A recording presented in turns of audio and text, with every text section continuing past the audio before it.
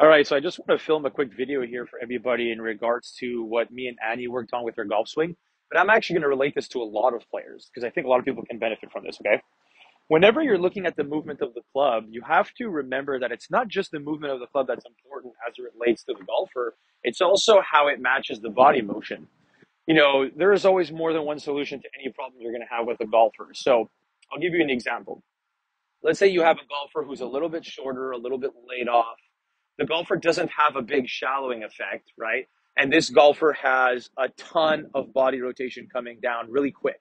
So they don't have like a slide and a sit where the hands can drop before the golfer rotates open. Let's say this golfer just has a ton of body rotation really fast.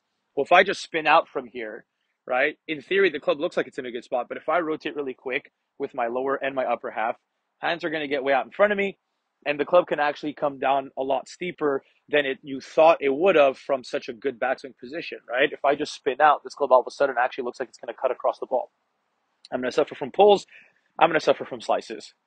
Well, there's two real options you can have with a golfer in a scenario like that. The first option would be you keep the backswing exactly where it is, and you can just get them to add a lateral component, and that lateral component kicks them into a little bit of trail side bend, the extra trail side bend drops the hands and club a little bit more. And now you take that golfer who from here spun out and the club gets really steep.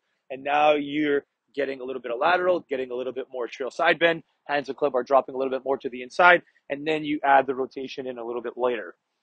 Well, now all of a sudden you got the club to shallow out through a downswing change. And that certainly isn't a possible option.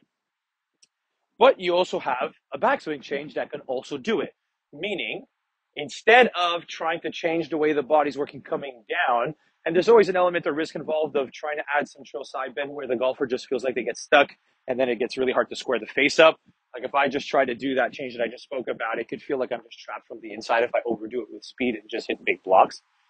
A different change would be you keep the downswing the way it is, the way the golfer has a lot of rotation with a little bit less lateral and the hands work out and the club works out a little bit more than most golfers.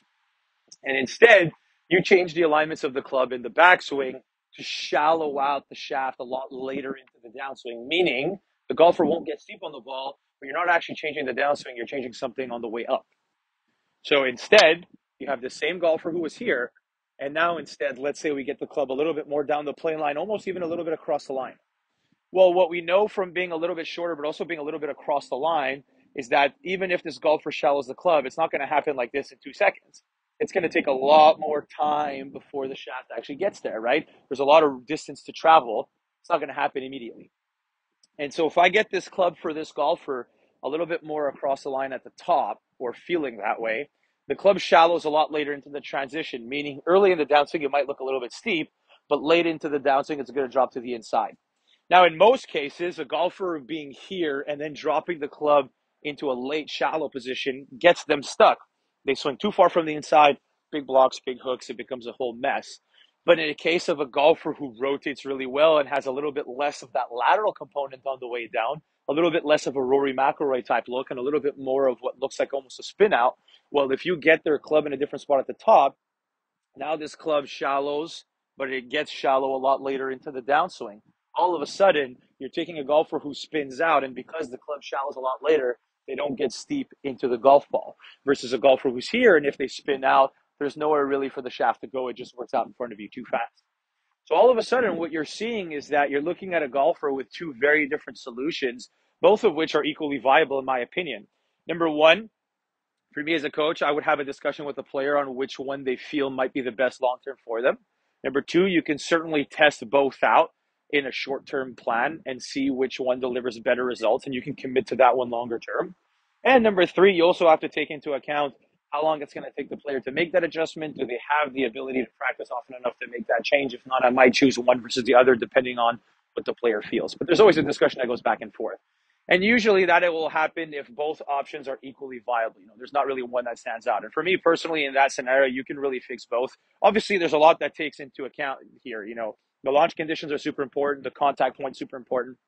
You know, I'm not going to just blindly choose one over the other. Obviously, there's other factors involved, but both options can be potential solutions to the same problem here. So, as this relates to Annie's golf swing, really what we did was we took her golf swing And rather than us trying to change the way her body moves coming down, which she basically had the same pivot for her whole golf career. So rather than trying to just make her feel super uncomfortable with how she's coming into the golf ball, because she's somebody who always has had a lot of rotation of the body and not a ton of like lateral and side bend. Well, in her case, it's a lot easier to just change the backswing because trying to change the way you are coming down is going to feel super uncomfortable. It's going to feel super timing based. And, you know, she's not necessarily going to control her low point very well doing that right away. So, for me personally, in that scenario, for her, the context was let's just change the alignment of the club at the top of the backswing so that we can get the club on a different plane at the top, so that the club shallows a little bit later into the downswing, which in theory moves her path to the right. It gets the club more shallow late in the swing, which for her works because she rotates really, really well. If you do this type of adjustment with a golfer who doesn't rotate very well, the late shallowing move is going to kill them because they're going to get stuck from the inside. But if you give it to a golfer who rotates a ton, well, now you can keep the club on a better plane here and the rotation can offset the late shallowing move. So it's all relative to the player that you're working with. This is the whole fun and the idea of matchups that we talk about all the time.